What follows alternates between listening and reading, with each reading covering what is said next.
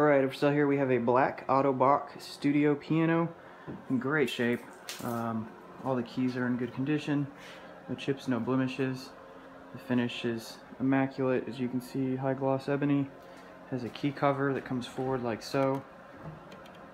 As you can see, Otto Bach's not a very well-known brand in the States, but um, a really well-known brand in Europe. Uh, you can Google it. Really high quality piano. Interior is in equally as good a shape. Um, as we'll see here shortly.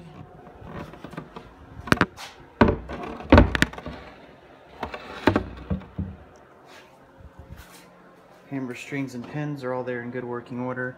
No corrosion, no chips, no blemishes to speak of. Everything is in really immaculate condition.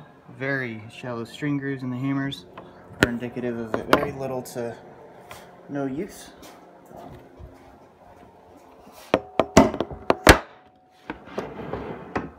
As you can see once again, the piano is in great shape. All the keys play. We'll go through.